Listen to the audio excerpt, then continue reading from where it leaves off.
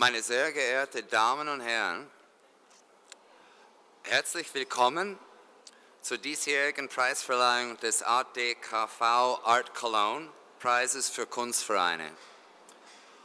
Morgen wird die 43. Art Cologne ihre Tore schließen. Wir sind sehr gespannt auf die Bilanz, die der internationale Kunstmarkt zum Ende dieser Messe ziehen wird. Aus unserer Sicht hat die diesjährige Art Cologne wichtige Impulse gesetzt und es ihre Aufgabe, Kunst zu vermitteln, mehr als gerecht geworden. Gerade auch wegen ihres neuen konzentriertes Konzepts. Diese Aufgabe haben sich die Kunstvereine in Deutschland ebenfalls verschrieben. Ihr Beitrag zur kulturellen Vielfalt in Städten und Gemeinden ist nicht mehr wegzudenken. Der ADKV Art Cologne Preis für Kunstvereine ehrt daher immer eine Kunstvereine, dessen Engagement besonders vorbildhaft und innovativ ist. In diesem Jahr geht der Preis, der mit einem Preisgeld von 8000 Euro verbunden ist, an den Heidelberger Kunstverein. Herr Holten, ich darf Ihnen an dieser Stelle schon einmal herzlich gratulieren. Herr Professor Dr. Michael Diaz, Professor für Kunst und Bildgeschichte an der Hochschule für Bildende Künste Hamburg und an der Humboldt-Universität Berlin, wird gleich die Laudatio halten. Zuvor jedoch darf ich das Wort an Frau Weg geben.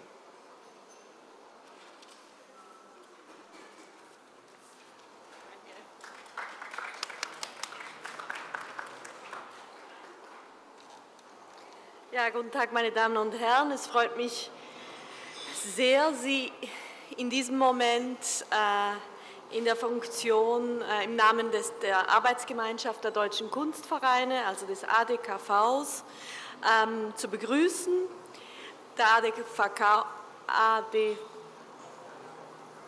Arbeitsgemeinschaft der Deutschen Kunstvereine, ähm, vergibt diesen Preis eben gemeinsam mit der Messe Köln. Und dieses Jahr hat das äh, der Heidelberger Kunstverein, wie wir schon gehört haben, unter der Leitung von Johann Holten gewonnen.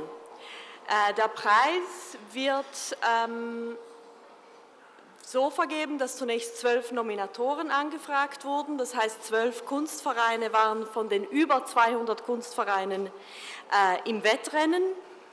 Äh, und als zweite Instanz kam eine Jury, die setzte sich aus Künstlern, Kuratoren, Lehrenden äh, zusammen. Ich erwähne jetzt namentlich die Jury. Es war da, da mit dabei Andrea Knobloch, Brigitte Franzen, Till Krause, Martin Engler und Nike Betzner. So ein Preis wird vergeben nach bestimmten Kriterien, wird versucht, eine, eine Auswahl zu treffen. Ähm, es geht natürlich eben um die Bewertung, wie ein Kunstverein vermittelt, die Aufgabe zeitgenössische Kunst in möglichst breit gefächert an eine breite Öffentlichkeit zu vermitteln, bis hin zur äh, kulturpolitischen Arbeit, die jeder Kunstverein auch sich zum Ziel setzt.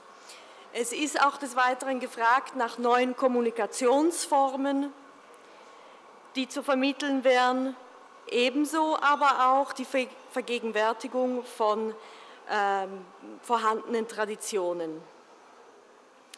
All dies hat der Heidelberger Kunstverein mit Bravour getan und wurde dementsprechend dieses Jahr belohnt. Es freut mich sehr und ich übergebe jetzt äh, das Wort an Herrn Professor Dr. Michael Diaz.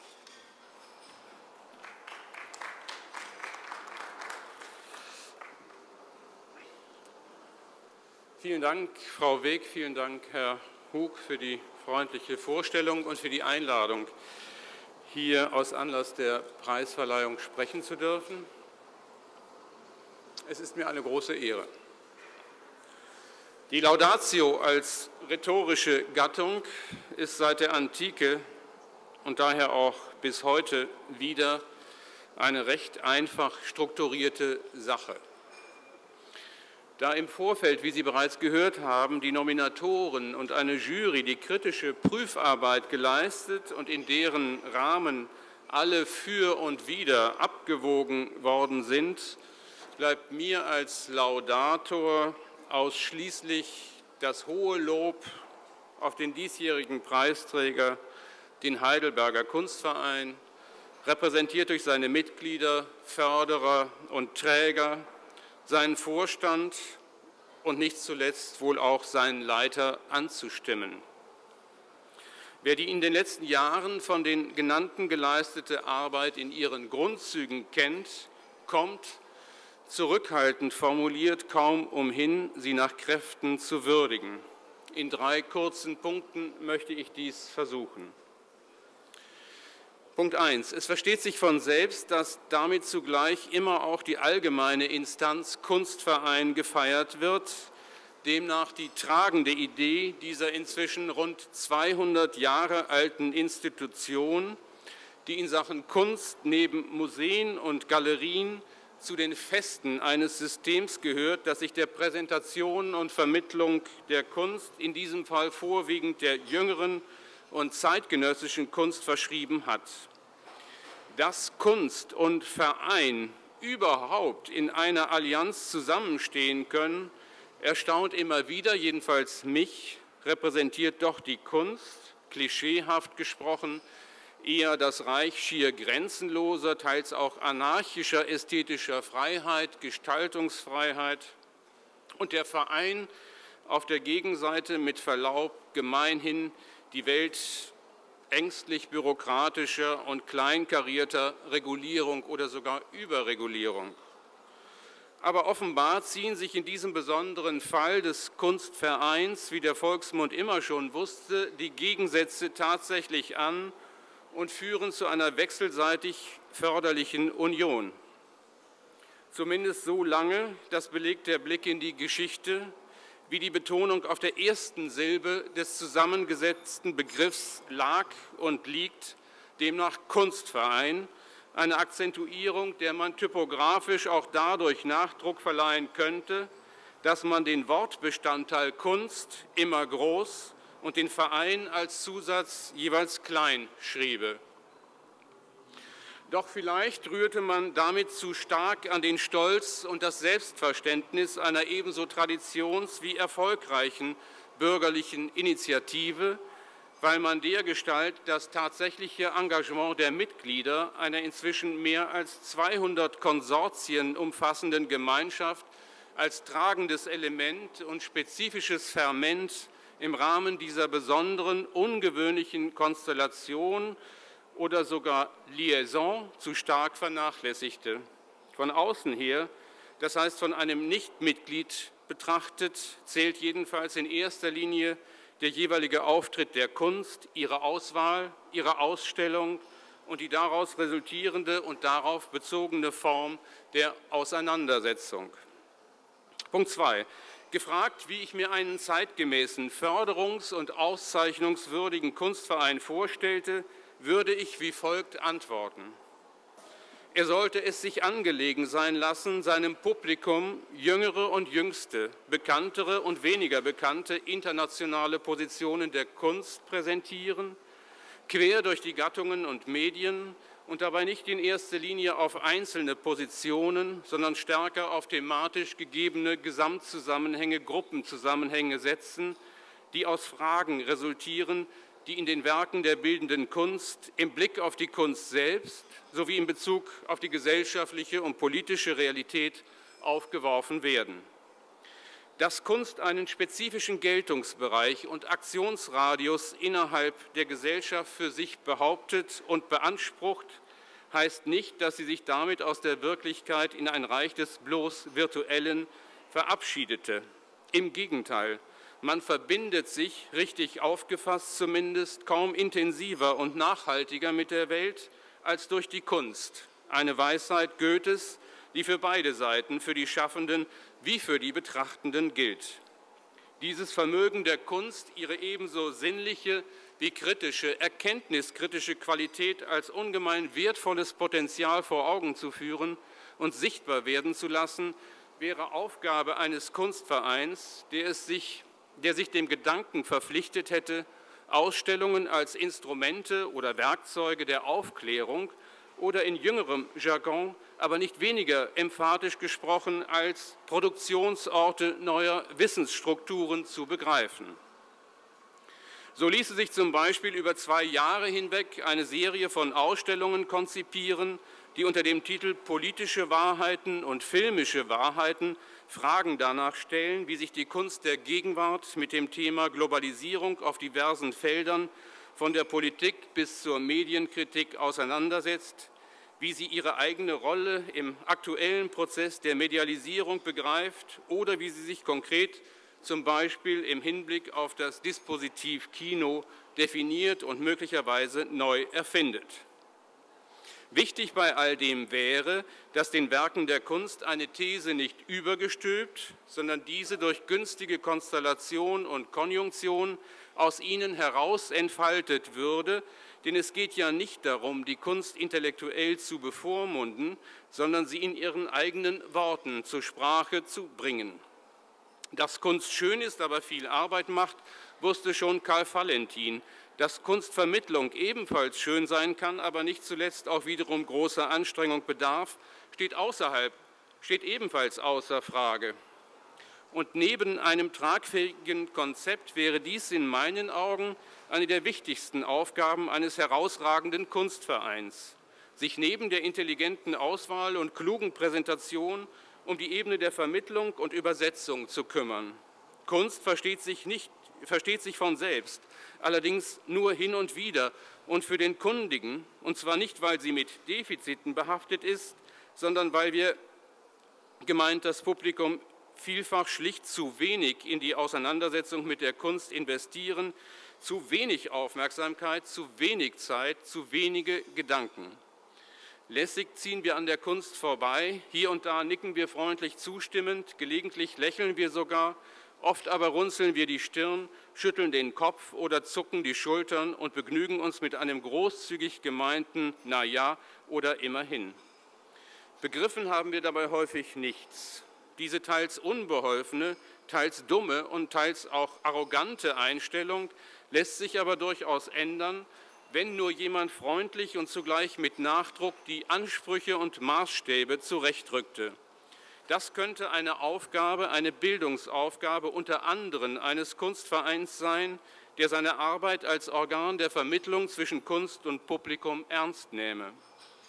Kunstvereine könnten aufgrund ihrer besonderen Struktur ideale Laboratorien der intensiven Auseinandersetzung sein, wenn sie sich ein wenig von der Idee verabschiedeten, Kunst sei selbstverständlich und ein geschicktes Arrangement etc. genüge bereits. Ich weiß, ohne Frage arbeiten sämtliche Kunstvereine an diesem Projekt und das seit Jahrzehnten. Aber auch in diesem Bereich innovativ zu sein, neue Formen der Vermittlung zu finden, könnte angelegen sein. Eine Form könnte die Publikation kleiner begleitender Hefte sein, sich nicht scheuen, Begriffe, die sich nicht scheuen, Begriffe und Zusammenhänge und das eigene Credo zu erläutern. Eine Handreichung für die Besucher, eine Art Vademecum oder Diskussionen oder Führungen oder Exkursionen. Ein wenig, so scheint es, ist die Anstrengung in Sachen Vermittlung den Ausstellungsmachern, die sich gern Kuratoren, also Fürsorgende nennen, aus dem Blick geraten. Und das ist bedauerlich, sodass der Kunstverein sich große Verdienste erwürbe, wenn er sich verstärkt als Laboratorium und Trainingsgelände in Sachen Kunstverstehen, in Sachen Kunstverstehen begreifen würde. In Sachen visueller Alphabetisierung hapert es in unserer Gesellschaft ungemein. Wir lernen lesen, schreiben und rechnen, nur das Sehen als eine Form des Erkennens und der Analyse ist weiterhin unterbelichtet. Ein Kunstwerk aber lässt sich als Organon begreifen, das die Wahrnehmung irritiert und provoziert und kritische Erkenntnisse auf die ästhetische Spitze treibt. Daran in Form der Auseinandersetzung anknüpfend lässt sich einiger Aufschluss über die Welt, ihre Islands und Ghettos erwarten.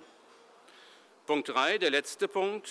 Gefragt, wie ich mir annäherungsweise den idealen Leiter oder die ideale Leiterin eines Kunstvereins vorstelle, würde ich Folgendes ausführen. Aus gegebenem Anlass behalte ich die männliche Form bei meinem Versuch eines Profils bei. Er könnte zum Beispiel aus dem benachbarten Ausland stammen, das schafft Distanz, und er könnte von Kindesbeinen an Ballettunterricht genommen haben und eventuell sogar einige Jahre als Tänzer an einem, einer, an einem norddeutschen Opernhaus gearbeitet haben. Denn das führte nicht nur zu einer vorbildlich guten Haltung, Körperhaltung ist gemeint, sondern wiederum zu einer gesicherten Außenposition, was den Bereich der bildenden Kunst anginge. Ein Studium der Kunstgeschichte möglichst an einer Berliner Universität absolviert und mit einem Magistergrad abgeschlossen, vielleicht sogar mit einer Arbeit über kuratierte Ausstellungen, in welcher Positionen von Harald Seemann bis Hans-Ulrich Obrist diskutiert worden wären, könnte dabei durchaus sinnvoll, weil hilfreich sein. Parallel zum Studium könnten eventuell in freien Projekten erste kuratorische Erfahrungen gewonnen worden sein, teils sogar mit eigenen künstlerischen Ambitionen in Sachen Video verbunden. Dies zusammengenommen wäre für einen jungen Mann, so um die 30, eine gute Grundlage, um ins Amt eines Kunstvereinsdirektors berufen zu werden.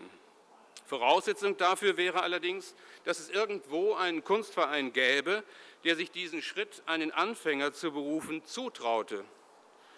Anschließend hätte der Kandidat in kurzer Frist ein attraktives Programm auf die Beine zu stellen und den diplomatischen Weg zwischen Skylla und Charybdis, sprich den vielfach skeptischen, an Tradition orientierten Erwartungen der Mitglieder und den eigenen Ambitionen zu beschreiten, ohne an den Klippen auf der einen oder anderen Seite zu scheitern oder auch nur anzuecken. Der Erfolg bei den Besuchern und in der Presse sowie bei befreundeten Einrichtungen, die anfragen würden, ob man die eine oder andere Ausstellung auch übernehmen könnte, hätte ihm bzw. seinem Konzept recht gegeben. Auch dass größere Ausstellungshäuser, darunter Museen, auch die von ihm gezeigten Künstler oder künstlerischen Arbeiten, seien sie von Simon Starling oder Marcel van Eden, aufmerksam würden, wäre durchaus als Anerkennung der eigenen Arbeit zu erachten. Dass Videokunst, Film und Fotografie neben Malerei, Grafik und Installationen nicht zu kurz kämen, wäre ebenfalls wünschenswert. Vielleicht aber ist das alles auch viel zu viel verlangt. Schließlich bedarf es sehr großer Energie, riesigen Engagements und ungebrochener Lust an der Kunst und ihrer Vermittlung, dies alles zu bewerkstelligen. Und im Hintergrund einen Verein, der dies alles per Zustimmung und Einräumung der notwendigen Freiheiten großzügig garantiert. Kann es das alles aber im System deutscher Kunstvereine überhaupt geben? Die Jury behauptet ja, und hat den ADKV Art Cologne Preis dem Heidelberger Kunstverein und seinem Leiter Johann Holten zugesprochen. Der Zufall will es, dass diese Entscheidung mit, den oben aufgestellten Kriterien, mit dem oben aufgestellten Kriterienkatalog übereinstimmt, sodass Sie das Gesagte selbstverständlich auf die genannte Einrichtung im deutschen Südwesten und den amtierenden Direktor übertragen können. Ich gratuliere sehr herzlich dem Verein, seinem Vorstand und dem Leiter sowie der Kunst im Allgemeinen. Lang lebe die Kunst und das hier nur in groben Zügen skizzierte, ebenso ambitionierte wie innovative und engagierte Heidelberger Modell. Vielen Dank für Ihre Aufmerksamkeit.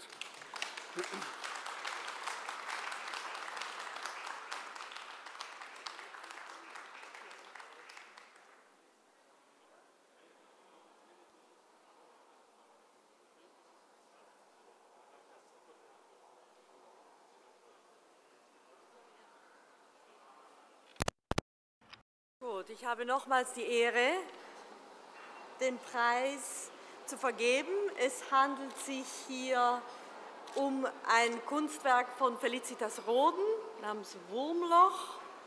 Äh, Felicitas Roden ist eine Künstlerin, die naturwissenschaftliche Phänomene in äh, spielerischer Form, oftmals in Installationen umsetzt. Hier also ein Energiefeld, das dem Heidelberger Kunstverein mit dem Preis zu ist es möglich, noch mehr Energie äh, weiterhilft. Vielen Dank. Ja, vielen Dank. Ähm, äh, das Geld, was ja damit folgt, kommt wohl dann später per Überweisung, aber der Preis ist ja ein schöner, auch weiteres Energiefeld von uns. Ähm, ich würde mich jetzt, ich bedanke mich natürlich bei allen, bei Jury und bei der ADKV dafür, dass dieser Preis auch gekommen ist, aber ich bedanke mich eigentlich noch in erster Linie nicht bei der ADKV, sondern bei den Künstlern, bei den Künstlern, mit denen ich auch zusammengearbeitet habe, hier in den in meinen ersten drei Jahren, seitdem ich 2006 als junger Mann ohne eigentlich Erfahrung oder, oder richtigen großen Netzwerk nach Heidelberg kam, die mich alle vertraut haben, die alle zugestimmt haben, dort auszustellen, neue Werke zu produzieren, auch teils finanziell waghalsige äh, so Projekte zu realisieren, weil ohne denen wäre der Kunstverein ja selbst, wenn er so engagiert, wie das jetzt beschrieben wird, geleitet wird, eigentlich gar nichts. Deswegen vielen, vielen Dank an alle Künstler, die in Heidelberg Kunst Verein ausgestellt haben. Dann natürlich auch vielen Dank an Laudate Michael Diers, bei dem ich auch mein Studium in Berlin ja abgeschlossen habe, vor gerade dreieinhalb Jahren, gerade kurz vor ich den Preis bekommen habe. Dann bei ADKV und bei allen anderen, die hier auch beigeholfen haben. Vielen Dank.